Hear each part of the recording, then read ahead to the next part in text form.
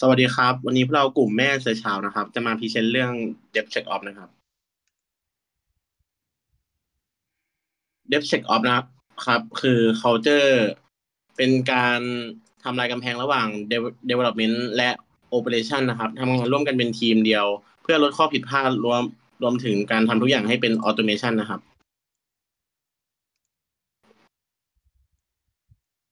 อันนี้จะเป็นไ i ไลน์ที่เราสามารถเลือกใช้ในการทำงาน มาใช้ในการ สามารถเลือกมาใช้ในการทำงานได้ครับผม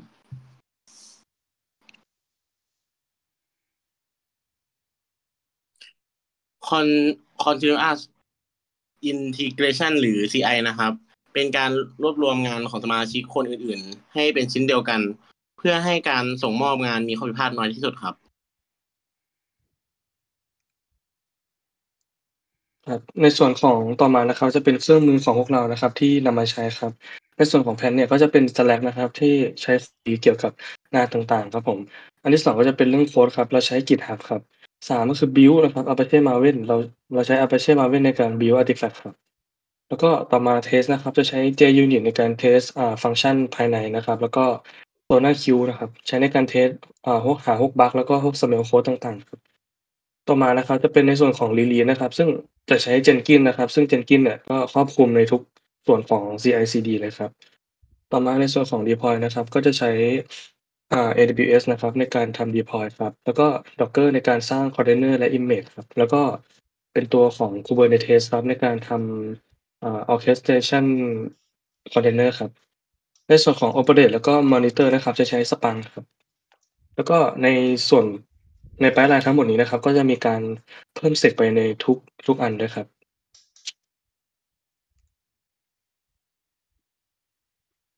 Continuous Delivery นะครับ เป็นกระบวนการส่งมอบซอฟต์แวร์ในรูปแบบ Automate นำไป deploy เพื่อส่งมอบให้ลูกค้านะครับ และมีอีกชื่อหนึ่งคือ Continuous Development นะครับ แต่แตกต่างกันที่ขั้นตอน deploy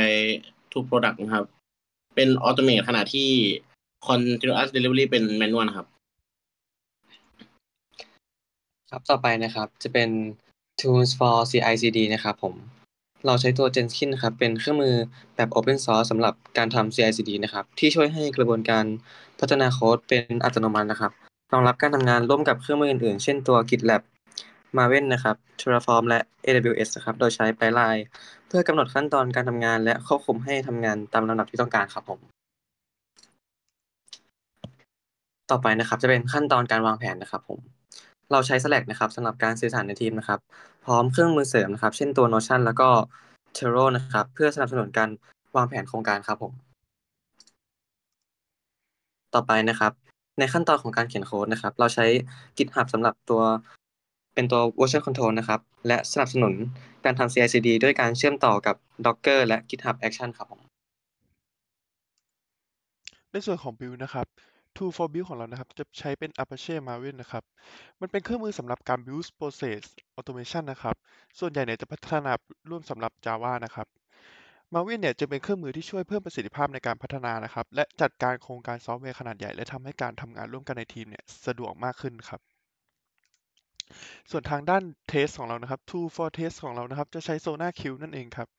SonarQ นะครับ เป็นเครื่องช่วยในเรื่องของ Code Analysis Penetration Testing Code Smell Bugs และ Vulnerability นะครับไอ SonarQ เนี่ยจึงเป็นเครื่องมือนะครับที่เหมาะสำหรับการพัฒนาซอฟต์แวร์อย่างต่อเนื่อง และรักษาคุณภาพโค้ดนะครับให้สอดคล้องตามมาตรฐานของเรานั่นเองครับ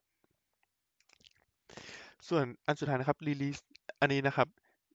จะเป็นขั้นตอนการเตรียมซอฟต์แวร์ก่อนส่งมอบให้ผู้ใช้นั่นเองครับ โดยอย่างที่หนึ่งนะครับ เราจะเตรียม environment ติดตั้ง plugin ที่จำเป็น เช่น Git Maven และก็ Docker ครับ อย่างที่สองครับ สร้าง Jenkins job ขึ้นมานะครับ และเขียน Jenkins files ข้อที่สามครับ ตั้งค่า trigger เพื่อให้ Jenkins ทำงานอัตโนมัติตามเวลาที่ต้องการหลังจากนั้น run job นั่นเองครับ อันที่สี่นะครับ ตรวจสอบผลลัพธ์ หรืออาจจะรับการแจ้งเตือนผ่าน webhook และเก็บบันทึก release นั่นเองครับ ต่อมาจะเป็นในส่วนของขั้นตอนการ deploy นะครับ ซึ่งการในการขั้นตอนของ deploy เนี่ยจะเป็นการนำซอฟต์แวร์ไปยัง environment ที่ใช้งานจริงนะครับ หรือว่าเป็นการขึ้น production ครับ ซึ่ง tool แรกที่เราเลือกมานะครับ ก็คือ Amazon Web Service นะครับ หรือว่า AWS ครับ เป็น cloud provider นะครับ ที่มี service หลายอย่างเลยให้เราใช้ครับ อย่างเช่น EC2 ที่เป็น service ในการสร้าง instance นะครับ EKS ที่เป็นเกี่ยวกับการจัดการ Kubernetes Cluster ครับ ECS นะครับ จัดการพวกคอนเทนเนอร์ต่างๆ นะครับ แล้วก็สามารถใช้ deploy production แล้วก็โปรเจกต์อื่น ๆ ได้ครับ ในส่วนต่อมานะครับจะเป็น Docker นะครับ เป็น tool ที่ใช้ build app ของเรานะครับ ให้เป็นคอนเทนเนอร์แล้วก็เป็น image เพื่อใช้ในการ deploy ต่อไปนะครับ ซึ่งข้อดีของ Docker เลยก็คือว่าสามารถ scalability ได้นะครับ ทั้ง vertical แล้วก็ horizontal ครับ fast to deploy นะครับ สามารถ deploy ได้ง่ายครับผม efficient resource utilization นะครับสามารถรันได้หลายคอนเทนเนอร์ในเวลาเดียวกันนะครับและทำให้ประหยัดเงินมากขึ้นได้ครับในส่วนสุดท้ายก็จะเป็นเรื่องของ productivity ครับ จะเป็นการส่งมอบงานให้ลูกค้าเร็วขึ้นครับครับแล้วก็เครื่องมือต่อมานะครับ ก็จะเป็นในเครื่องมือของ Kubernetes ครับ ซึ่งเวลาเรามีหลายคอนเทนเนอร์ใช่ไหมครับ ก็จะต้องมีตัวมาจัดการครับ ซึ่งในตัวนั้นเนี่ยก็จะเป็น Kubernetes นั่นเองครับ เป็นตัว Container Orchestration นะครับผมอาจจะจัดการพวกคอนเทนเนอร์หรือว่า Cluster ก็ได้ครับ ซึ่งจุดเด่นของ Kubernetes เนี่ยก็คืออ่า Load Balancing นะครับ Scaling แล้วก็ Container Management ครับ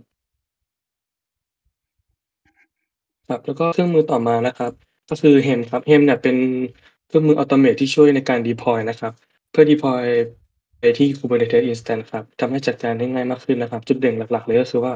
Version Control นะครับรองรับรองรับการ Versioning นะครับ สามารถอัปเกรดแล้วก็ rollback deploy ได้สะดวกครับ Reusable นะครับ Configuration ก็คือสามารถ reuse config ต่างๆ ได้ทำให้ deploy อื่นๆน่ะเร็วขึ้นครับ ต่อมาก็จะเป็นในเรื่องของ Dependency Management นะครับ สามารถจัดการ dependency ที่แอปต้องใช้ใน Kubernetes ได้อย่างดีครับครับต่อมาก็จะเป็นในเรื่องของ Operate แล้วก็ Monitoring นะครับ ซึ่งเป็นขั้นตอนติดตามงานนะครับ หลังจากที่เรานำงานขึ้น Production หรือว่าส่งให้ลูกค้าไปแล้วครับ Monitoring นะครับ เป็นขั้นตอนการติดตามงานหลังจากที่ทุกอย่างเสร็จแล้วครับ เพื่อวิเคราะห์ปัญหาแล้วก็รวมไปถึงวิเคราะห์ระบบ Infra ต่างๆ นะครับ ที่หลังจากเราเอาขึ้นไปครับอย่างเช่น Scaling นะครับ แล้วก็การดัก IP ที่มีการ spam หรือว่าที่พยายามจะ hack เรานะครับ การติดตามการทำงานของ VM CPU GPU นะครับ ดูว่ามีข้อขวดหรือเปล่า แล้วก็ดูพวก Memory work workload แล้วก็อื่นๆครับ ซึ่ง tool ที่ใช้ในการ monitoring คราวนี้เนี่ยครับ ก็จะเป็นของ Splunk ครับ Splunk เป็น tool สำหรับ monitoring นะครับ เพื่อเพื่อที่จะดูแล Production ของเราครับจุดเด่นก็จะมีพวกแบบว่า real time monitoring นะครับ log data log data ว่าเกิดอะไรขึ้นบ้างในเหตุการณ์ณเวลานั้นๆครับ dashboard แล้วก็ visualization ครับ สามารถ custom dashboard ได้ครับผม security monitoring นะครับ สามารถดูความปลอดภัยผ่าน monitoring ได้เลยครับ แล้วก็มีอ่า data analysis นะครับ เช่นแนวโน้มของ workload ต่างๆ นะครับครับต่อมาก็จะเป็น workflow ของเรานะครับซึ่งในขั้นตอนแรกสุดนะครับ ก็จะทำการ development code ต่างๆ นะครับผม สร้างแอปพลิเคชันต่างๆ หลังจากนั้นเนี่ยเราก็จะอัปไปที่ commit ไปที่อ่า GitHub นะครับ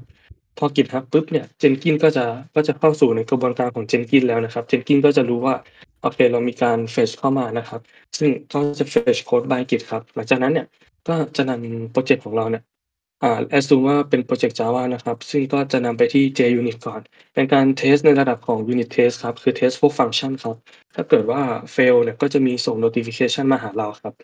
หลังจากนั้นถ้าผ่านปุ๊บก็จะเป็นในส่วนของอ่า Sonar Scanner นะครับ Integration Test แล้วก็แล้วก็ Code Analysis ครับในส่วนต่อมานะครับก็จะเป็นในฝั่งของ Sonar Queue นะครับ ซึ่งเป็นการ Code Analysis กับ Sonar Queue นะครับ เหมือนเดิมครับ ถ้า fail ก็จะมีการส่ง noti มาครับ Sonar Sonar Queue เนี่ยจะแล้วก็ออกมาเป็นแดชบอร์ดเลยครับว่าโคดของเราเนี่ยมีคุณภาพไหมโคดเรามีเอันไหนที่ไม่ best practice หรือว่ามีโค้ด smell หรือเปล่าครับ ซึ่งก็จะหลอกออกมาแล้วก็ อ่า visualize ให้เราดูหมดเลยครับ ถ้าเกิดว่าผ่านปุ๊บ ก็จะไปส่วนของ build image ต่อนะครับ ซึ่งเราก็จะใช้ Maven นะครับ ร่วมกับ Docker ครับในการ build ครับ ถ้าเกิดว่า build fail เหมือนกันครับ ก็จะส่ง noti ไปครับ หลังจากนั้นเนี่ยก็จะมาที่ Docker image push นะครับ หลังจากที่เราสร้าง Docker image แล้วเนี่ย ก็จะมีการเอาไปเก็บในที่ที่หนึ่งนะครับ ซึ่งในที่ที่นี้เนี่ยเราก็เลือกเป็น Docker Hub ครับ ครับ หลังจากที่เราอัปโหลดไปที่ Docker Hub นะครับ ในฝั่งของ Helm เนี่ยก็จะมีการนำที่เรา build มาเนี่ยไป deploy ที่ Kubernetes cluster ครับ แล้วก็ Docker repository นะครับ ก็จะก็จะถูกใช้ดาวน์โหลดโดย Kubernetes cluster เหมือนกัน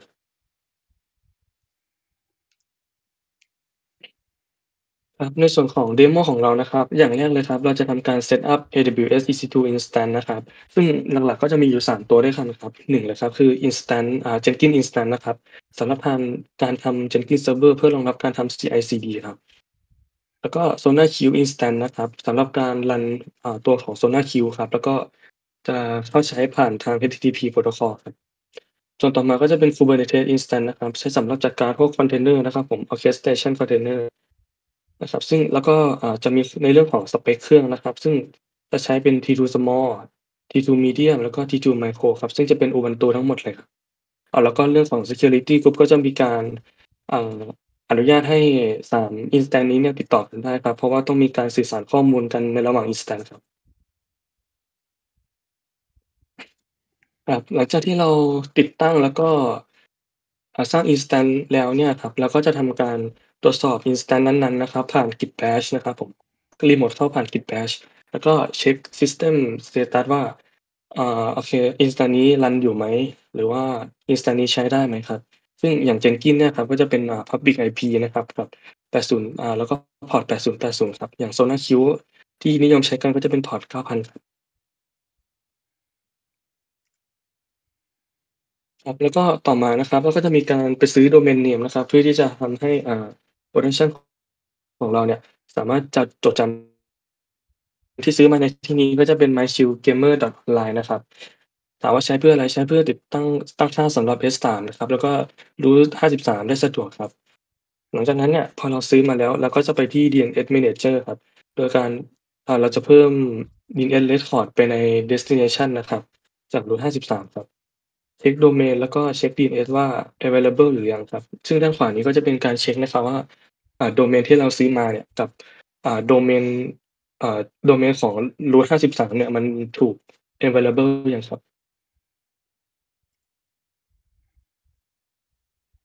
ครับในส่วนต่อมาก็จะเป็นการ set up S3 แล้วก็ root 53 นะครับ ซึ่ง root 53 เนี่ยใช้สำหรับ scale DNS นะครับ แล้วก็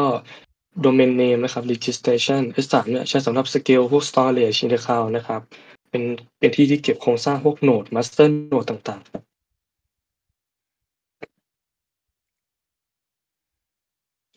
ต่อมาก็จะเป็นขั้นตอนสำคัญมาก ๆ นะครับนั่นก็คือการสร้าง Jenkins pipeline ครับผม ซึ่ง Jenkins pipeline เนี่ยที่เราใช้กันหลักๆ ก็จะมีอยู่อ่า8ส8ขั้นตอนด้วยกันนะครับ1เลยก็จะเป็นการ build ครับผม 2 unit test ครับ3ก็คือเช็กสไตล์ครับ4 code analysis state นะครับ persona queue and 5นะครับ build app image นะครับ6ก็คืออัปโหลด image ขึ้นไปที่ Docker Hub ครับ7ก็คือ remove unused Docker image ครับ เพื่อลดพื้นที่ที่ไม่ใช้ครับ แล้วก็8นะครับ Kubernetes deploy ครับ ซึ่งในฝั่งของด้านขวาเนี่ยก็จะเป็นการสร้าง Jenkins ไฟล์ไว้ในพรเจกต์ครับ แล้วก็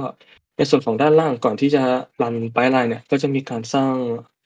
Kubernetes cluster ไว้ครับ ซึ่งในที่นี้ผมสร้างไว้ทั้งหมด3ตอ่า3ตัวครับ ก็จะมีตัวของโนดโนด2ตัว แล้วก็ master node อีก 1 ตัวนะครับครับหลังจากนั้นที่เรา integrate ต่างๆ เสร็จแล้วเราตั้งค่า Jenkins กับ SonarQube เสร็จแล้ว จัดการพวก token ต่างๆเนี่ยครับ เราก็จะทำการรัน pipeline ครับ ซึ่งแล้วพอเรารัน pipeline ปุ๊บเนี่ย Jenkins เนี่ยก็จะดูได้ว่าโอเค เราถึงที่ pipeline ไหน pipeline ไหนสำเร็จ หรือว่า pipeline ไหน fail นะครับหากว่า fail เนี่ยเราก็สามารถไปที่ console output ได้ เพื่อที่จะดูว่าโอเค มันผิดพลาดที่กระบวนการไหนครับ แล้วก็ถ้าเสร็จเรียบร้อยแล้วเนี่ยครับ ก็จะแจ้งเตือนกลับมานะครับว่าโอเคเรา build เสร็จแล้วเรารัน pipeline ทุกอย่างเรียบร้อยดีครับ ครับในส่วนของเมื่อเรารัน pipeline แล้วก็ขึ้น production จริงไปแล้วนะครับจะมีอีกอันหนึ่งที่สำคัญนะครับนั่นคือการตรวจสอบแล้วก็การเฝ้าดูครับผม ซึ่งจะทำให้เราติดตามพวก production ได้ว่าโอเค production หลังจากที่เราปล่อยให้ลูกค้าเสร็จแล้วมันมีปัญหาไหม หรือว่ามันติดปัญหาอะไรไหมครับอันนี้ก็จะเป็น pipeline ของเราแล้วก็เครื่องมือของเรานะครับ ที่ใช้ในพรเจกต์นี้ครับ ครับ ขอบคุณครับ